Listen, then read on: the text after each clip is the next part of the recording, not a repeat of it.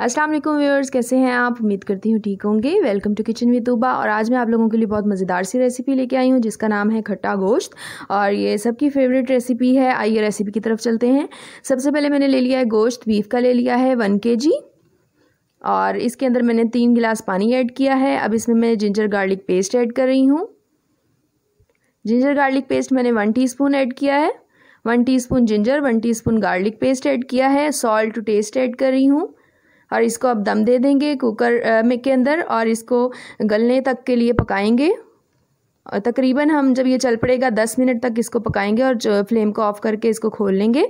ये देखें पानी ड्राई हो गया है। इसमें मैंने तकरीबन सात से आठ टेबल स्पून मैंने इसमें ऑयल ऐड किया है। अब इसके अंदर मैं लेमन जूस ऐड कर रही हूँ। लेमन जूस में ऐड करूँगी। एक पूरा मैंने लेमन ले लूँगी और उसका जूस निकाल लूँगी। बड़े साइज़ का लेमन है। और अब इसको हम कुक करेंगे, अच्छी तरह इसकी बुनाई करेंगे ताकि इसकी कच्चेपन की स्मेल ख़त्म हो जाए। और अब इसके अंदर मैंने इमली का पल्प ऐड कर रही हूँ। टू टेबल स्पून मैंने इमली ले ली थी, उसको भिगो के रख दिया था पानी के अंदर। और वो अच्छी तरह जो, जब नरम हो गई थी तो उसका जो पल्प है वो इसके अंदर ऐड कर रही हूँ मैं। और अब इसकी अच्छी तरह से भुनाई कर लूँगी और ये देखें, जब इसका इमली का पानी जो है ड्राई हो जाएगा तो ये हमारा जो गोश्त है, खट्टा गोश्त रेडी हो जाएगा। अब इसके अंदर मैंने वन टीस्पून काली मिर्च की ऐड की है।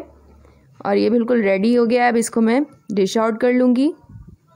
बुनाई इसकी अच्छी तरह करनी है ताकि इसकी स्मेल ख़त्म हो जाए। ये देखें, बिल्कुल ड्राई हो गया। और जो इमली का पल्प है, गोश्त के अंदर जो है, जज्ब हो गया। और अब ये देखें, इसको मैंने डिश आउट कर लिया। बहुत मज़े का बना था। सबने बहुत शौक से खाया ये।